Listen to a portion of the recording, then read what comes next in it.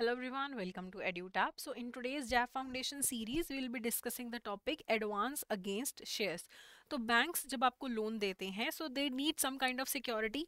सो so, आपको अपना घर गिरवी रख के लोन मिल सकता है आपको अपनी गाड़ी गिरवी रख के ज्वेलरी गिरवी रख के आप लोन ले सकते हैं and same way you can get an advance against shares also तो शेयर्स हमारे पास कौन से हो सकते हैं आइदर इक्विटी शेयर्स और प्रेफरेंस शेयर्स तो प्रेफरेंस शेयर्स जो होते हैं, इन्हें डिविडेंड मिलते समय they get priority over equity shares तो पहले dividend is paid to preference share holders then dividend can be paid to the equity share holders and the percentage of dividend for preference share is pre decided twelve percent preference shares fifteen percent preference shares advance में पता होता है कि चाहे जितना मर्ज़ी profit हो maximum they can get this much dividend only equity share holders को बाद में मिलता है और कोई सर्टेन परसेंटेज नहीं होता है कि शेयर वैल्यू के अगेंस्ट इतना ही डिविडेंड मिलेगा।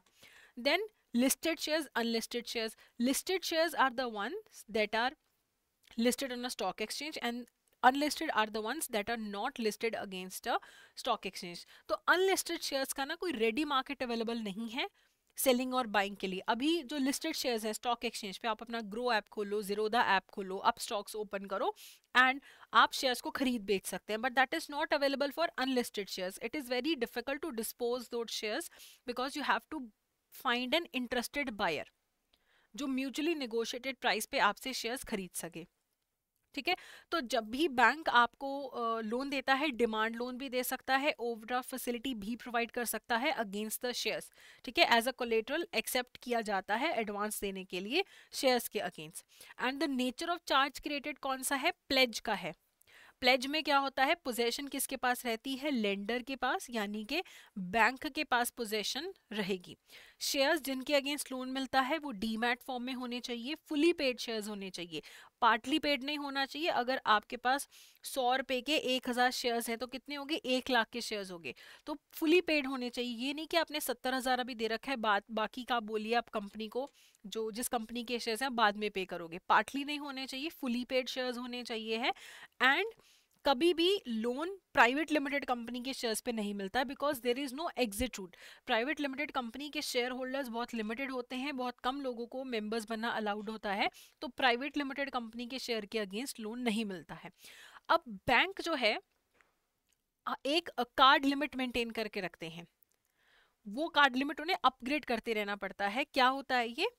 Amount that can be lend lent against a particular share एक पर्टिकुलर शेयर के अगेंस्ट कितना वो लेंड कर सकते हैं, वो लिमिट उन्हें प्री डिसाइड करके रखना पड़ता है। क्या अब वो जितना मर्ज़ी चाहे शेयर के अगेंस्ट लोन दे सकते हैं? क्या जितना चाहें उतना लोन दे सकते हैं। तो ऐसा कुछ नहीं है। They have a statutory limitations also तो उन स्टैचुटरी लिमिटेशंस को बहुत स्ट्रिक्टली फॉलो करना होता है। देखो, एक बैंक का according to banking regulation act किसी भी बैंकिंग कंपनी में जो शेयर होल्डिंग हो सकता है, चाहे प्लेज की फॉर्म में, चाहे मॉडकेज की फॉर्म में, चाहे वो ओनर्स हैं उन शेयर के मैक्सिमम एक्सपोजर थर्टी परसेंट हो सकता है। या तो उस कंपनी का thirty percent paid up capital का या खुद का जो शेयर कैपिटल या रिज़र्व है, उसका thirty percent whichever is less उतना उनका maximum exposure to that company हो सकता है। एंड इस एक्सपोजर में अगर आप चाहे उस शेयर्स के अगेंस्ट एडवांस देते हैं अंडर करते हैं इन्वेस्टमेंट के लिए लेते हैं डेट के बदले में लेते हैं, ये थर्टी परसेंट का प्रोविज़न आपको स्ट्रिक्टली ऑब्ज़र्व करना ही करना है। उसके बाद जो बैंक का aggregate exposure to the capital market है, चाहे फंड बेस्ड चाहे फंड बेस्ड जो नॉन फंड बेस्ड जो उनका maximum exposure to capital market है, वो बैंक के 40 परसेंट ऑफ़ नेटवर्थ से ज़्यादा नहीं होना चाहिए। तो जो भी thirty first March previous year को, जो उनका नेटवर्थ था, उसका 40 परसेंट से ज़्यादा बैंक का कैपिटल मार्केट को एक्सपोजर नहीं होना चाहिए है। और इसी सीलिंग के अंदर, जो बैंक का शेयर्स बॉन्ड्स डिबेंचर्स में एक्सपोजर है in a venture capital fund जो भी एक्सपोजर है, उनका वेंचर कैपिटल फंड का, चाहे वो वेंचर कैपिटल फंड रजिस्टर्ड है नॉन रजिस्टर्ड है twenty percent of net worth जो है, उससे ज़्यादा का नहीं होना चाहिए है। अगर एक पर्सन को आईपीओ में इन्वेस्ट करना है share IPO bond IPO initial public offer में इन्वेस्ट करना है, क्या वो उसके लिए बैंक से लोन ले सकते हैं? ले सकते हैं मैक्सिमम टेन लाख रुपीज़ और शेयर्स में जो बैंक मार्जिन रखता है लोन देते समय दैट इज़ फिफ्टी परसेंट काफ़ी हाई है फिफ्टी परसेंट रखता है। क्या एक कंपनी लोन ले सकती है बैंक से किसी और कंपनी में इन्वेस्ट करने के लिए? दैट इज़ नॉट अलाउड क्या एक बैंक एनबीएफसी को ऑन लेंडिंग कर सकता है इंडिविजुअल्स के आईपीओ के लिए? तो नहीं. तो मान लीजिए एक बैंक है, एक एनबीएफसी है और एक इंडिविजुअल है जिसको आईपीओ में इन्वेस्ट करना है। बैंक्स डायरेक्टली तो उसको लोन दे सकते हैं, लेकिन बैंक पहले एनबीएफसी को दे। एनबीएफसी वो किसी पर्सन को दे जिसने आईपीओ ने इन्वेस्ट करना है। ये अलाउड नहीं है। अगर आपको अपनी कंपनी के ईसॉ प्लान के अंदर शेयर्स खरीदने हैं एम्प्लॉय स्टॉक ऑप्शन प्लान के अंदर शेयर्स खरीदने हैं, क्या आप वो खरीद सकते हैं बैंक से फाइनेंस लेके? तो बैंक आपको फाइनेंस करेगा। कितना?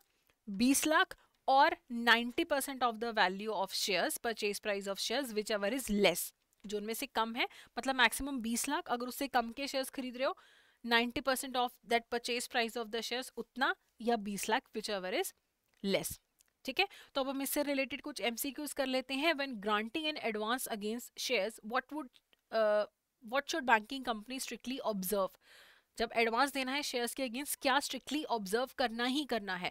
Market value, credit rating statutory provision on share holding limits या फिर इंटरेस्ट रेट चार्ज तो जो स्टैचुटरी प्रोविज़न होते हैं शेयर होल्डिंग पे, कि इतने से ज़्यादा आप नहीं एक्सपोजर कर सकते तो वो इंपॉर्टेंट है, बहुत ज़्यादा फॉलो करना। तो सी यहाँ पे करेक्ट ऑप्शन है।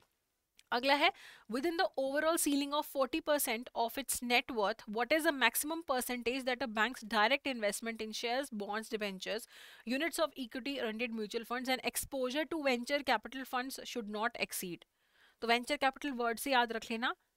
ट्वेंटी परसेंट तो सी जो है यहाँ पे करेक्ट आंसर है। अगला है what is the maximum amount of advance that a bank can provide to individuals for subscribing to IPO तो आईपीओ में इन्वेस्ट करने के लिए बैंक कितना दे सकता है? मैक्सिमम टेन लाख रुपीज़ दे सकता है।